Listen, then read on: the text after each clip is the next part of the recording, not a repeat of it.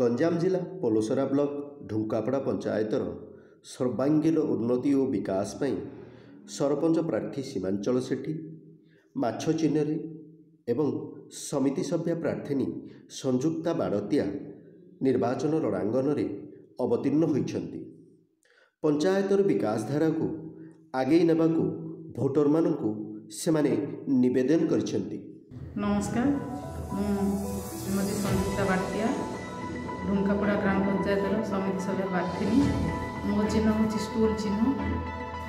ଢୁଙ୍କାପଡ଼ା ଗ୍ରାମବାସୀର ସମସ୍ତ ଗୁରୁଜନ ବାପା ମା' ଭାଇ ଭଉଣୀ ସମସ୍ତଙ୍କୁ ମୁଁ ବିନମ୍ର ଅନୁରୋଧ କରୁଛି କି ମୋତେ ମୋର ଷ୍ଟୁଲ୍ ଚିହ୍ନରେ ଆଶୀର୍ବାଦ କରନ୍ତୁ ଏବଂ ବିପୁଳ ସଂଖ୍ୟାରେ ଭୋଟ ଦେଇ ଜୟଯୁକ୍ତ କରନ୍ତୁ। ଗତ ପାଞ୍ଚ ବର୍ଷ ଆପଣମାନଙ୍କ ମୁଁ ସେବା କରି ଆସିଛି। ଏବେ ମଧ୍ୟ ମୁଁ ଆପଣଙ୍କର ଆଉ ପାଞ୍ଚ ବର୍ଷ ସେବା କରିବାକୁ ଚାହୁଁଛି। ମୋତେ ଆପଣମାନେ ସୁଯୋଗ ଦେଲେ ମୁଁ ଉପକୃତ ହେବି। ନମସ୍କାର।